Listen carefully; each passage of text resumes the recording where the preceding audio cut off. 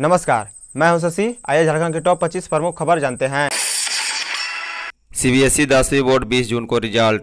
CBSE ने वर्ष 2021 के लिए कक्षा दसवीं बोर्ड परीक्षा के लिए मूल्यांकन नीति घोषित कर दी है। इसके साथ ही कोरोना महामारी को लेकर रद्द की गई सीबीएसई दसवीं बोर्ड परीक्षा को लेकर सभी संशय दूर हो गए हैं। दसवीं बोर्ड परीक्षा के परिणाम 20 जून तक घोषित किए जाएँगे। केंद्रीय माध्यमिक शिक्षा बोर्ड ने शनिवार को कक्षा दसवीं बोर्ड परीक्षा के लिए अंकों के सारणीकरण की नीति की घोषणा की, जिसे देश में कोरोना वायरस महामारी की स्थिति को देखते हुए रद्द कर दिया गया है। बता दें सी सीबीएसई बारहवीं बोर्ड परीक्षा पर अहम फैसला एक जून को लिया जाएगा। झारखंड मौसम विभाग के अनुसार आगामी सात मई तक आसमान में बादल रहेंगे, वहीं बारिश के आसार भी बरकरार हैं। मौसम विभाग की माने तो अधिकतम तापमान चौंतीस से सैंतीस डिग्री सेल्सियस तक रहेगा, वहीं न्यूनतम तापमान तेईस से चौबीस डिग्री सेल्सियस तक रहने के आसार हैं। झारखंड में 18 प्लस का टीकाकरण अब 10 मई से। झारखंड में 1 मई से 18 प्लस का टीकाकरण अभियान अब 10 मई से होने की संभावना है, बता दें सीरम इंस्टीट्यूट ऑफ़ इंडिया और भारत बायोटेक की ओर से। वैक्सीन की आपूर्ति नहीं किए जाने से एक मई से होने वाले वैक्सीनेशन की तारीख में इजाफा हुआ है। बता दें, झारखंड सरकार ने दोनों कंपनियों को 25-25 लाख डोज का ऑर्डर दिया था। झारखंड की हेमंत सरकार ने 50 लाख डोज के लिए 18 करोड़ रुपए का भुगतान भी किया है। झारखंड में ऑक्सीजन सुविधा युक्त 2500 अतिरिक्त बेड स्थापित करेगा सेल। कोरोना महामारी के खिलाफ जंग में धीरे धीरे पूरा देश एक साथ आकर खड़ा हो रहा है। बता दें, इस कड़ी में steel authority of India limited SAIL corona महामारी के उपचार की दिशा में बड़ी पहल करने जा रहा है। इसके तहत गैसियस ऑक्सीजन की सुविधा से लैंस पच्चीस सौ बिस्तरों वाले व्यापक चिकित्सा सुविधा गृह को स्थापित करने की योजना है। बता दें, यह सुविधा सेल के पाँच एकीकृत स्टील प्लांटों, छत्तीसगढ़ के भिलाई, उड़ीसा के राउरकेला, झारखंड के बोकारो तथा पश्चिम बंगाल के दुर्गापुर तथा बर्नपुर में उपलब्ध वर्तमान सुविधा के अतिरिक्त होंगी। संक्रमित पुलिसकर्मियों के इलाज के लिए पुलिस मुख्यालय ने दिए साढ़े तीन करोड़। राजधानी रांची में पुलिसकर्मियों के बीच कोरोना वायरस के बढ़ते मामलों को देखते हुए रांची पुलिस गंभीर हो गई है। बता दें, रांची के एसएसपी सुरेंद्र कुमार झा ने पुलिसकर्मियों के बेहतर इलाज और समुचित व्यवस्था के लिए पुलिस मुख्यालय से साढ़े तीन करोड़ की मांग की है। इसके लिए पुलिस मुख्यालय को एक प्रस्ताव भेजा गया है। पुलिस की ओर से तैयारी की गई है कि रांची पुलिस के जवान और पदाधिकारी के लिए अलग कोविड 19 मैनेजमेंट सेंटर बनाया गया है। सेल में नर्स और डॉक्टर के 60 पदों पर भर्तियाँ। Steel authority of India limited SAIL ने बोकारो जनरल हॉस्पिटल में डॉक्टर और नर्सों के 60 पदों पर भर्ती के लिए योग्य व इच्छुक अभ्यर्थियों के लिए भर्ती नोटिफिकेशन जारी किया है। बता दें, नर्स या डॉक्टर के पद पर आवेदन के इच्छुक अभ्यर्थी तीन मई 2021 से आठ मई 2021 को सुबह 10 बजे से दोपहर एक बजे तक साक्षात्कार में भाग ले सकते हैं। नर्स व डॉक्टर के पदों पर अभ्यर्थियों का चयन सीधे इंटरव्यू के ज़रिए होगा। डॉक्टर और स्वास्थ्य कर्मियों को मिलेगी प्रोत्साहन राशि। कोरोना वायरस संक्रमण की रोकथाम में जुटे डॉक्टर समेत स्वास्थ्य कर्मियों को हेमंत सरकार ने एक महीने का अतिरिक्त प्रोत्साहन राशि देने की घोषणा की है। इस संबंध में अपर मुख्य सचिव अरुण कुमार सिंह के हस्ताक्षर से इसकी अधिसूचना जारी हुई है। बता दें राज्य सरकार के चिकित्सकों स्वास्थ्य कर्मियों एवं स्वास्थ्य विभाग के अन्य कर्मियों तथा एनएचएम के अधीन कार्यरत चिकित्सकों एवं अन्य स्वास्थ्य कर्मियों के मनोबल एवं कर्तव्य निर्वहन को प्रोत्साहन करने के उद्देश्य से उन्हें एक माह के मूल वेतन समतुल्य प्रोत्साहन राशि दिए जाने का निर्णय लिया गया है। पीएलएफआई के छह उग्रवादी गिरफ़्तार पश्चिमी सिंहभूम चाईबासा ज़िले की पुलिस ने प्रतिबंधित उग्रवादी संगठन पीएलएफआई के छह उग्रवादी को गिरफ़्तार किया है। बता दें, इनके पास से देसी करबाइन, दस गोली, पीएलएफआई का पर्चा और लेवी लेने वाला रसीद, चार मोबाइल फ़ोन और विभिन्न में गाड़ियों की चाबी बरामद की गई है। मंत्री बन्ना गुप्ता ने एंबुलेंस एवं सौ वाहन खरीदने के लिए दिए 50 लाख। जमशेदपुर पश्चिमी के विधायक सह राज्य के स्वास्थ्य मंत्री बना गुप्ता कोरोना के मद्देनजर विधायक मद से 50 लाख की राशि जमशेदपुर अधिसूचित क्षेत्र समिति एवं मानगो नगर निगम को उपलब्ध कराएँगे। इसका उपयोग एंबुलेंस एवं सौ वाहन के क्रय के लिए किया जाएगा, जिससे मरीजों को लाने, ले जाने में परेशानी का सामना न करना पड़े। झारखंड में तिरसठ नए केस मिले हैं। झारखंड में एक सौ उनसठ मरीज़ की मौत हुई है। झारखंड में कुल एक्टिव केस की संख्या अंठावन है। वहीं झारखंड में कुल मौत की संख्या अट्ठाईस है। भारत में तीन लाख बानवे हज़ार चार सौ उनसठ नए केस मिले हैं।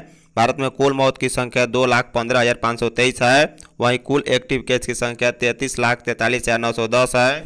भारत में तीन लाख आठ हज़ार पाँच सौ बाईस मरीज़ स्वस्थ हुए हैं। वहीं झारखंड में चौवन सौ तैंतीस मरीज़ स्वस्थ हुए हैं। झारखंड में तिरसठ सौ तेईस नए केस मिले हैं जो बोकारो से 325, चतरा चार सौ इकहत्तर देवघर 217, धनबाद 234, दुमका पचपन पूर्वी सिंहभूम नौ सौ चौहत्तर गढ़वा नब्बे गिरिडीह 170, गोड्डा 113, गुमला एक सौ छियासी हजारीबाग तीन सौ नब्बे जामतरा एक सौ सत्ताईस खूंटी सतासी कोडारमा 250, लातेहार 204, लोहरदगा एक सौ तैंतालीस पाकुड़ पंद्रह पलामू पंचानवे रामगढ़ दो सौ तिरासी रांची तेरह सौ सतहत्तर साहिबगंज चौवालीस सरायकेला छियानवे सिमडेगा एक सौ चौदह पश्चिमी सिंहभूम से दो सौ तिरसठ नए केस मिले हैं। बता दें झारखंड में एक सौ उनसठ मरीज़ की मौत हुई है जिसमें रांची से 45, पूर्वी सिंहभूम से 38, धनबाद 12, रामगढ़ सात गोड्डा व गढ़वा से छः छः कोडारमा से पाँच बोकारो गिरिडीह जामताड़ा सरायकेला खरसावा पश्चिमी सिंहभूम से चार चार चतरा हजारीबाग खुट्टी व पलामू से तीन तीन सिमडेगा लोहरदगा से दो दो वहीं देवघर दुमका लातेहार साहिबगंज से एक एक मरीज़ की मौत हुई है। झारखंड में स्वस्थ हुए मरीज़ इस प्रकार हैं। बोकारो दो सौ छियानबे चतरा तिरासी, देवघर दो सौ इकतालीस, धनबाद एक सौ चौवन, दुमका बहत्तर, पूर्वी सिंहभूम बारह सौ बयालीस, गढ़वा अठहत्तर, गिरिडीह इकहत्तर गोडा पचास, गुमला एक सौ पाँच, हजारीबाग चार सौ तीस, जामताड़ा एक सौ अड़तीस, खूंटी एक सौ अस्सी, कोडरमा दो सौ सतासी, लातेहार दस, लोहरदगा सतासी, पलामू अंठानवे, रामगढ़ एक सौ दस, रांची छः सौ छः साहिबगंज सैंतीस, सरायकला एक सौ बारह, सिमडेगा तिहत्तर तथा पश्चिमी सिंहभूम से दो सौ दस मरीज़ स्वस्थ हुए हैं। स्पीकर ने पुराने विधानसभा परिसर के अस्पताल को कोविड वार्ड बनाने का किया आग्रह।